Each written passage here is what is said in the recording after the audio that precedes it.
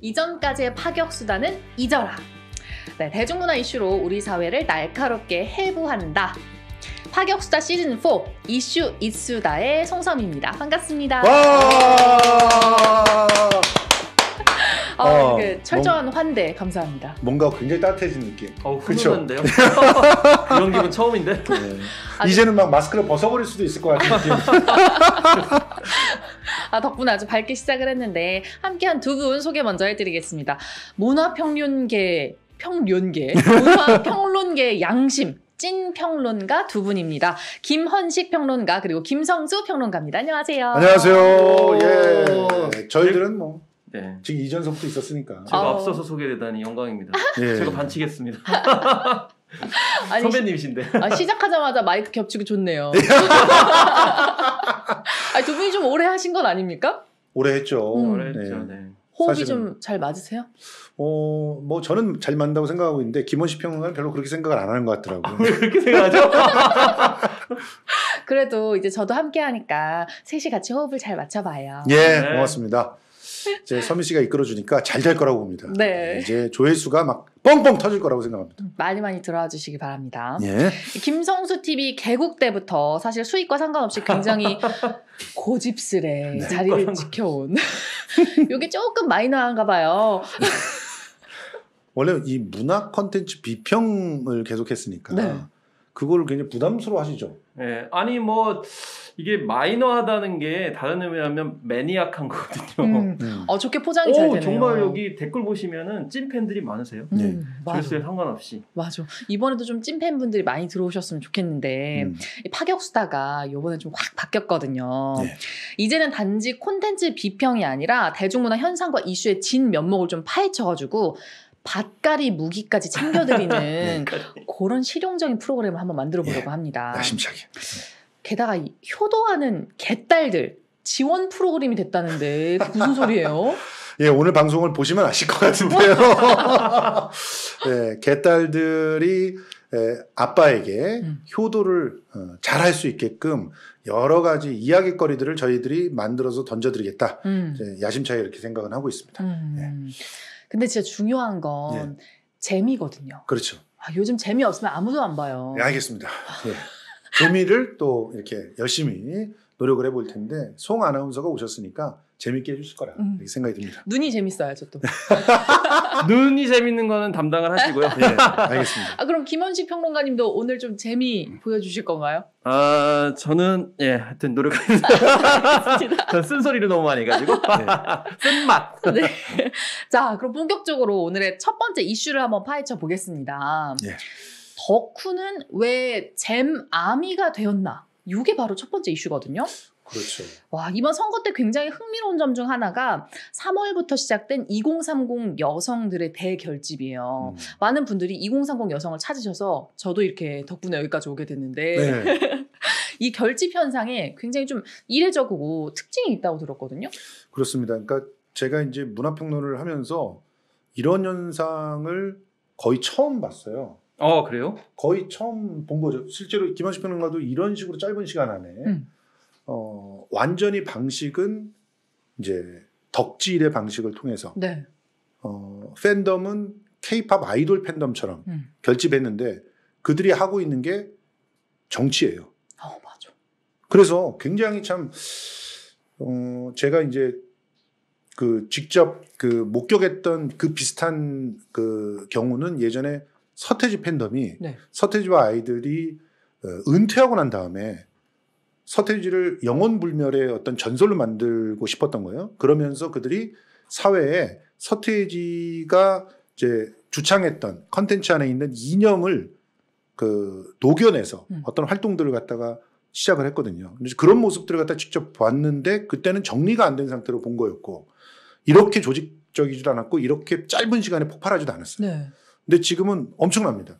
실제로 대략 한 1월 말에서 2월 초 사이서부터 움직임이 조금씩 보이기 시작했는데 그게 무시할 정도로 드러나지 않았거든요. 음. 그러다가 이제 2월 말 3월 초에 폭발하기 시작해서 음. 이제는 완전히 어 그냥 덕후들의 에, 정치 이 집단처럼 되고 있는 그런 이재명 팬덤이 음. 굉장히 놀라운 그런 현상이다 이렇게 볼 수 있습니다. 아니, 말씀하신 부분 중에 정말 공감이 되는 부분이 아이돌 관련 얘기를 하셨잖아요. 네. 실제로 덕후라는 그 갤러리에 보면 아이돌 토크 코너에서 이 얘기를 다루고 있더라고요. 그러니까요. 어, 진짜 아이돌이 돼버린 것 같아. 거기 들어가 보면 전부 다 아이돌 이름밖에 없잖아요. 음. 그다 갤러리가 서브 갤러리가 전부 아이돌 이름으로 혹은 자기가 좋아하는 케이팝 스타 혹은 아이돌 그룹 그, 그렇게 돼 있는 거예요. 아니 스테이시 다음에 이재명이 나온다니까요? 그러니까요.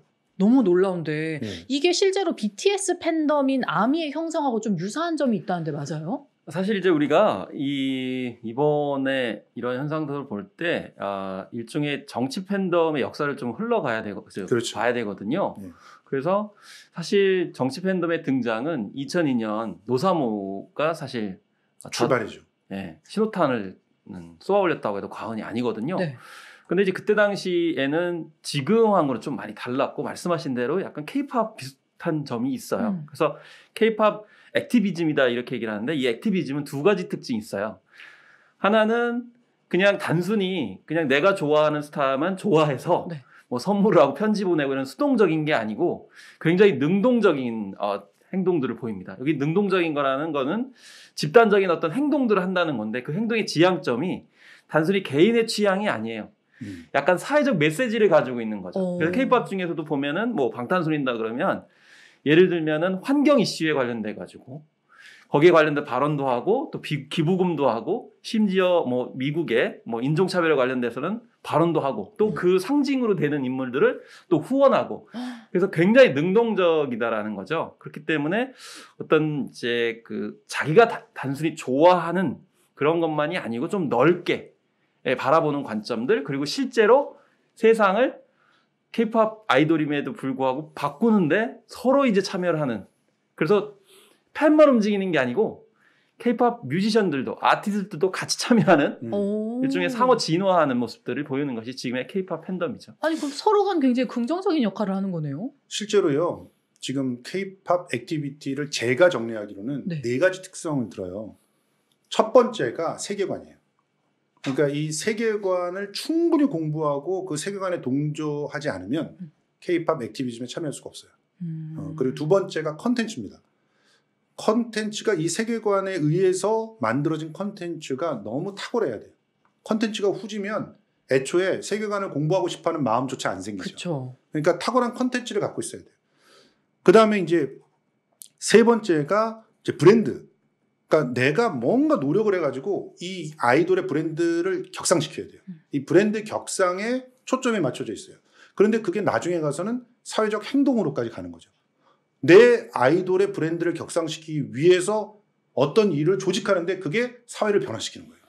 하... 이 네 가지가 케이팝 activism의 저는 특성이라고 보는데 그게 지금 이재명의 제미 혹은 잼 아미에 그대로 그 어, 적용이 돼서 우리가 확인할 수 있다는 거죠. 아우. 실제로 이재명이 탁월한 컨텐츠를 갖고 있는 사람이에요. 근데 그걸 어, 악마 같은 언론들 때문에 몰랐던 거예요.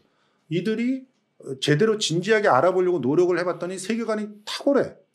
그 세계관에 빠져들어. 음. 그리고 나서 우리가 나서서 이 브랜드를 강화시켜야 된다라고 하면서 행동에 나와 있는 이런 흐름들이 이루어지고 있어서 이전에 이 노사모나 박사모나 이런 쪽은 한 개인이 갖고 있는 그런 탁월한 어떤 이건 컨텐츠라기보다 매력이 있어요. 그 매력을 흠모하는 사람들의 모임이에요. 이건 진짜 그 매력에 빠져서 그 매력의 추종자가 되기를 원하는 거지 긍정적으로 이제 세상을 변화시키는 것은 어떻게 보면은 이제 그 다음의 행동들이 음. 인 거죠. 우리 우리 이 매력 넘치는 내 우상을 지켜야 된다. 이것서부터 출발하는 건데 지금은 근데 좀 다르다는 거죠.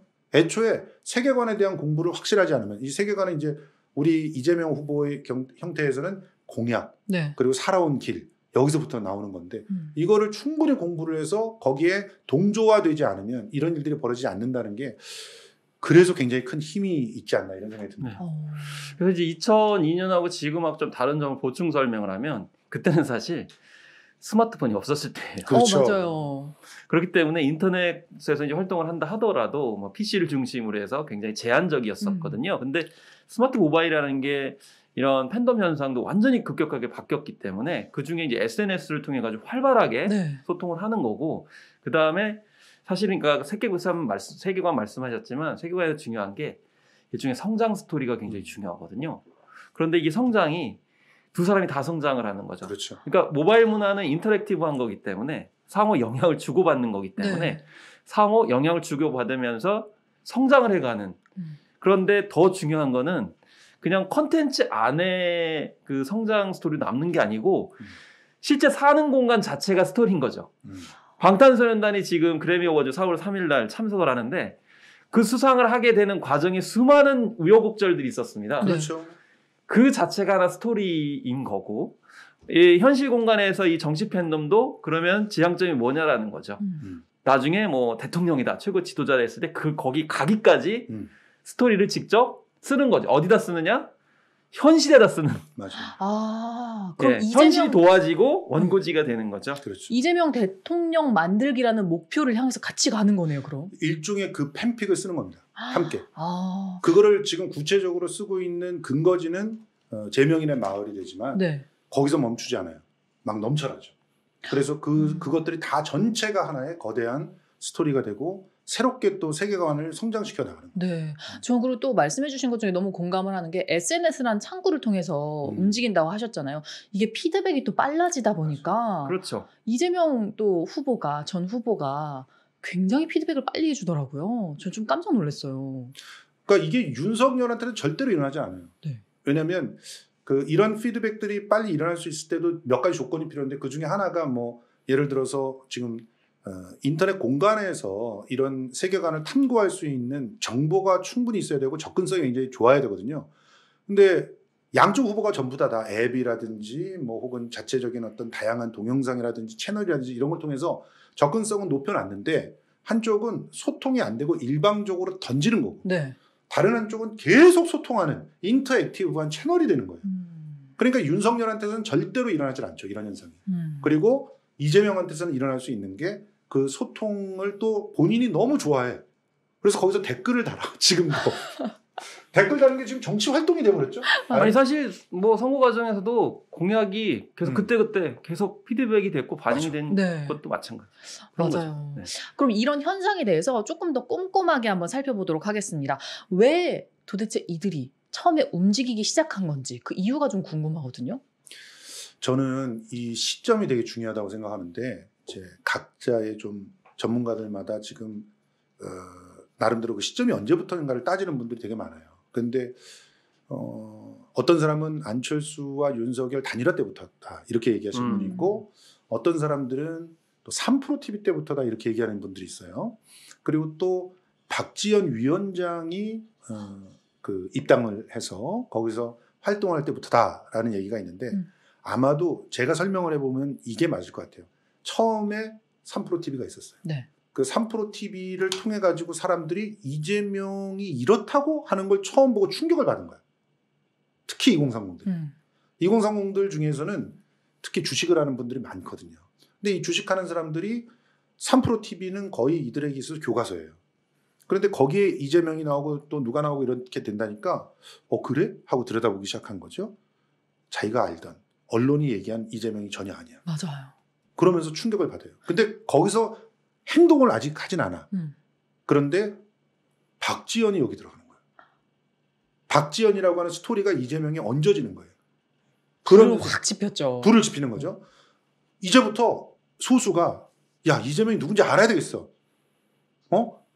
이- 지금 이러다가는 있지 윤석열이 될 것 같아.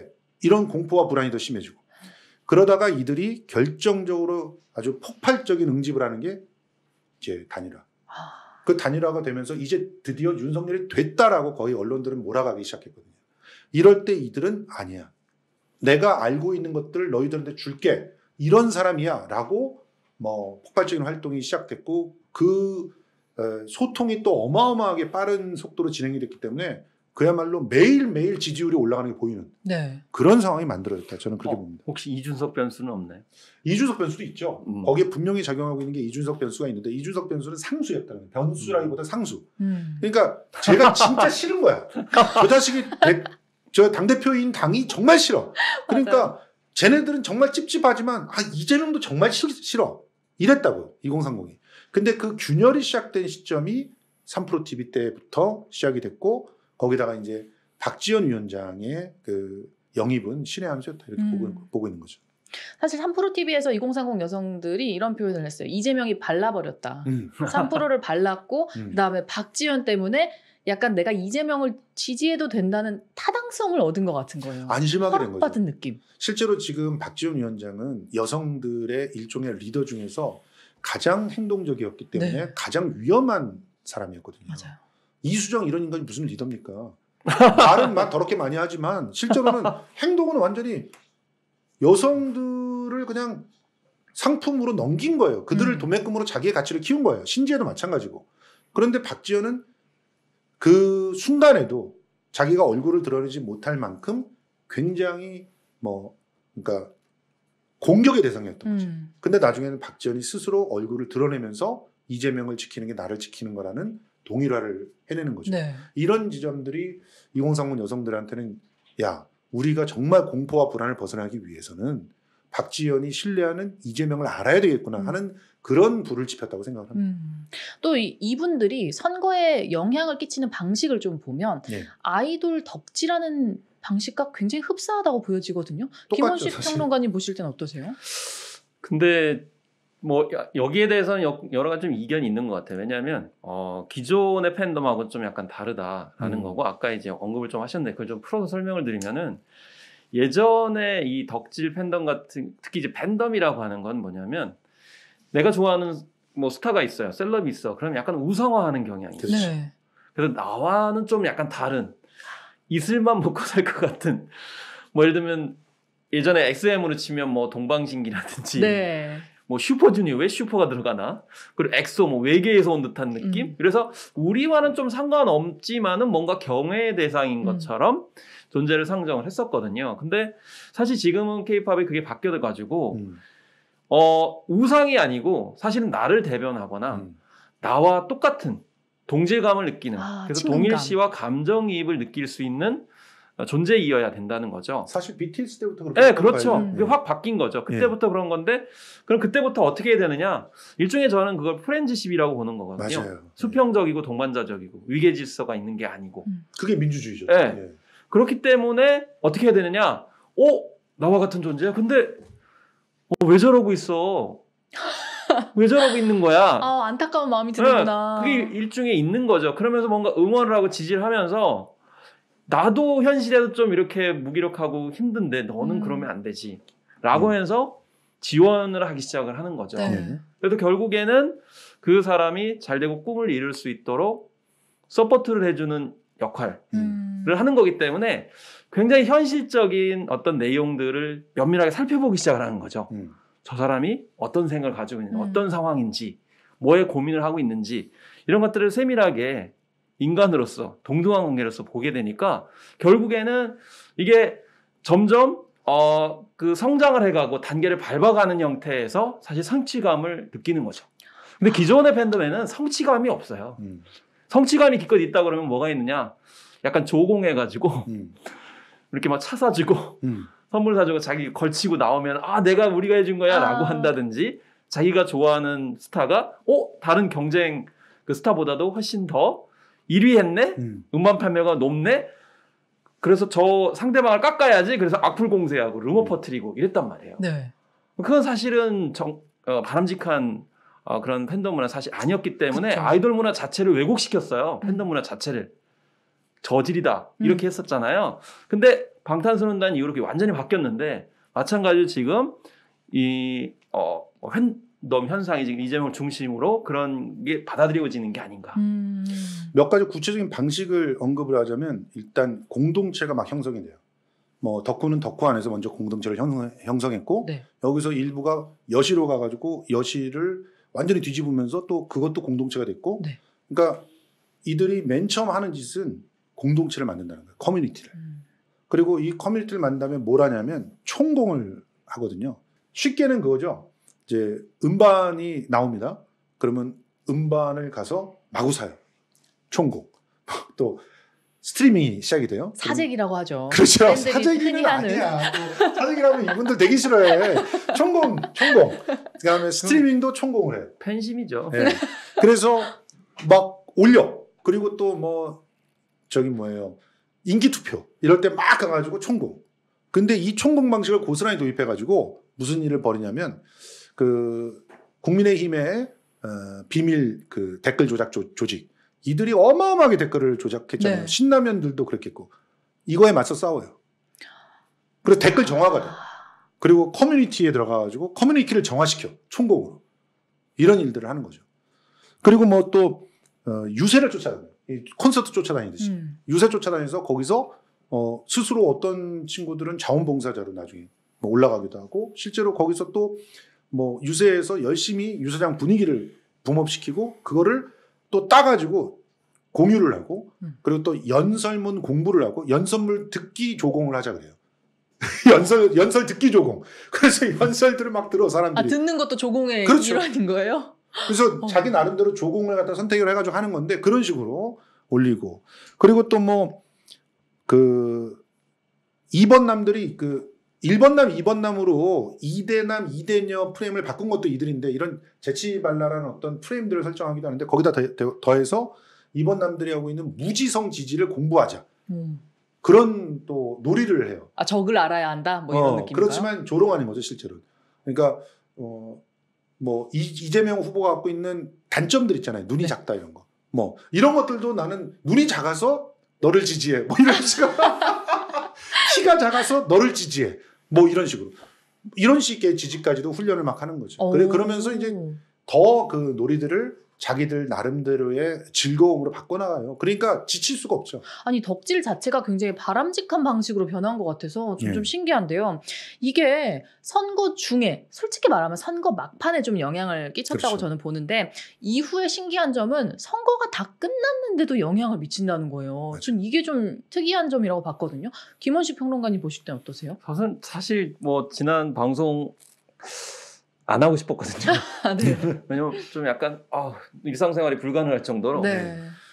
어, PESD가 심해서. 아, 저도 뉴스. 채널 다 끊었어요. 아마 뭐 2030 여성분들도 똑같은 심정이 아니었을까라는 생각이 들고요. 음. 그리고 그런 생각 많이 할 수 있거든요. 뭐냐면 모르겠습니다만 이제 조금만 더 일찍 아, 알았더라면 혹은 거기에 대해서 좀 액티비즘을 했으면 어땠을까라는 아쉬움들이 굉장히 많으셨을 네. 거고 그렇기 때문에 사실 지금 2030 특히 90년대 이후생들은 강력한 무기를 가지고 있잖아요. 그게 음. 바로 이제 SNS인데 기존의 세대하고 좀 다른 게 기존의 세대들은 예전에 유명한 게 있는데 우리 때는 막 인터넷 토- 커뮤니티나 이- 그 토론장에 막 난리를 쳐. 그러면 아 오늘 그럼 광화문에서 갑시다 그러면 안 나와. 이런 게 많아요. 근데 어쨌든지 간에 지금 90년대 이후생 2030들은 실천력을 가지고 있다는 거죠. 뭐 실제로 도- 좋은 의미로는 돈줄도 내주고 음. 그 다음에 정말 그 자기들이 생각하는 바를 불매 운동으로 표현하기도 하고 해서 음. 경험들이 있어요. 그 때문에 특히 여성들 같은 경우도 충분히 그런 경험들이 있기 때문에 네. 그런 허한 마음들을 좀 다잡고 어, 이제 집중을 해가지고 아까 말씀하신 대로 커뮤니티를 통해 가지고 실제로 실천에 음. 나서고 있다 좀 그런 생각이 드는 거죠. 저는 그 허한 마음을 이재명 후보한테 따뜻한 방식으로 풀고 있다고 느껴졌던 게 맞아요. 이재명 후보를 친칠라 혹은 아빠, 아버지 이렇게 음. 부르더라고요. 이재명 악마가 많이 무력화된 것 같아요. 저는 이거 네. 굉장히 중요한 건데 네. 세계사적인 트렌드에 저는 부합하는 현상이라고 보거든요. 왜냐하면 그래서 약간 좀 다른 얘기일 수 있는데 지금 가상 인간 음. 네. 열풍이 많이 불고 있어요. 그쵸. 그래서 우리나라에도 뭐 가상 로지를 비롯해 다양하게 나오고 있는데 사실 세계적으로 주목받고 있는 가상 캐릭터는 릴 미켈라거든요. 음. 근데 이 릴 미켈라가 기존의 그 사이버 인간하고 많이 달라요. 그리고 네. 릴 모델하고도 많이 달라. 뭐냐면 외모가 그렇게 예전처럼 섹시한 스타일이 아니에요. 음. 얼굴에 주근깨가 잔뜩 났고요. 아, 저 봤어요. 음. 네, 그리고 브라질 출신이에요. 유색인종이야. 음. 그렇기 때문에 전체적인 흐름이 우리가 흔히 이제 외모 지상주의로 가는 그런 기존의 모델 그 이론이 있었잖아요. 근데 지금 드라마를 봐도 주인공들이 그렇게 옛날처럼 미모가 출중한 그런 음. 사람들이 아니에요. 화려하고 예쁨에서 좀 더 벗어나고 있어요. 그렇죠. 네, 그래서 다 어, 약간 우리가 흔히 뭐 약간 이건 여성 에 대해서 상품화 단어지만은 초딩 몸매다 이런 뭐 단어도 많이 쓰잖아요. 네네. 그런 사람들이 더 주인공으로 나와요. 맞아요. 그러면은 정치인이라면은 과연 어떤 사람이 나와야 되느냐? 결국에는 외모가 뭐 아까 말씀하셨지만 눈이 작으면 어때? 그리고 그 안에 컨텐츠라든지 비전이라든지 그런 내용이 중요한 음. 것이지. 음. 그리고 거꾸로 눈이 작으면 눈이 작은 대로 매력이 있고 또 중요한 거는 굉장히 노력을 많이 하잖아요. 그렇죠. 그런 점들이고 특히 이제 2030의 특징은 캐릭터 시대이다 보니까 네. 자기 스스로 이제 캐릭터를 이렇게 만들어 가지고 음. 지칠라라고 붙이는 그런 형태로 지금 어떤 세계사적인 트렌드를 변화시킨 거를 지금 정치 팬덤에 투여하고 있는 게 아닌가 전 그런 생각이 들거든요. 아, 근데 그러다- 우리나라 가상 인간들은 다 너무 예뻐가지고 이질감이 너무 많이 생겨. 뭐 어쨌든 그 상황이 이재명 악마화를 무력화시킨 거는 어, 성과로 확실하게 드러납니다. 네. 그러니까 악마화됐던 모든 그런 어떤 프레임들이 친칠라로 대응하는 거 앞에 그냥 힘을 잃어요. 음. 친칠라가 정말 귀엽잖아요, 진짜. 모든 친칠라들의 매력들을 그냥 고스란히 눈에서 비주얼로나 혹은 이런 걸로 보여주기 때문에 이재명을 악마라고 하는 사람들은 뻘쭘해지는 상황들이 만들어지고 있고 그리고 진짜 이재명의 본질에 더 다가갔을 수 있게 만들어주는 거죠. 네. 아, 네, 저는 사실 약간 쇼킹했는데요. 왜냐하면 기존에는 좀 이론적으로 약간 여성주의가 접근됐었는데 아까 아빠 말도 하셨지만은 약간 양성평등 관점에서 약간 수평적 관계에 프렌드십이 작용하지 않았나라는 음. 생각이 들어서 제가 오히려 많이 배우고 있어요. 그런 점이 참 인상적입니다. 네. 맞습니다. 네, 저희 첫 번째 이슈 덕후는 왜 잼아미가 되었나 여기까지 살펴보도록 하겠습니다. 너무 아쉽네요. 예. 다음번에 다음에 더 기회. 되면 또 예. 자세하게 말씀. 이 아쉬운 마음은 광고로 좀 달래볼까요? 예. 오늘 여러분께 소개해드리는 제품은 김성수 커피입니다. 예. 사실 커피라고 하면은 되게 별다방 커피 먼저 떠올리시는데요. 어, 안 좋은 원두를 새까맣게 태워가지고 그래서 어, 그 쓴 물을 갖다 먹는 거 굉장히 고통스럽잖아요. 고통스러워 배 아파요. 예, 그렇지만 커피가 그렇지 않아요. 굉장히 고급진 음. 식재료였고요. 어, 김성수 커피에 쓰이는 생두들은 어, 정말 프리미엄급 생두들을 갖다 씁니다. 그래서 그 생두들을 아주 잘 그 고안돼 있는 로스팅기에서 로스팅기에서 장인들이 직접 약배전을 합니다. 그래서 그 약배전 되어 있는 커피를 여러분들께 갓 굽자마자 보내드리는 그런 어, 커피인데요. 지금 예전에 굉장히 인기 있었던 드립백은 다 팔렸고요. 지금은 원두 세트만 판매하고 있습니다. 200g, 요 봉투에 200g이 들어가 있는데 이 200g짜리 3개가 한 묶음으로 어, 35,000원에 판매되고 있으니까 이게 에, 아마도 이번 음, 3, 4월까지만 이 가격에 판매가 되고 조금 가격이 올라갈 가능성이 있어서 어. 원두가 너무 가격이 올랐거든요. 아니 가격 오르기 전에 빨리 예. 가격. 오르기 전에 빨리 구매해 주시기 바랍니다. 김성수 커피 어, 지금 원두 세트 35,000원에 배송료는 한 세트 사시면 3,300원이 있지만 두 세트부터는 어, 배송료도 없습니다. 어. 네.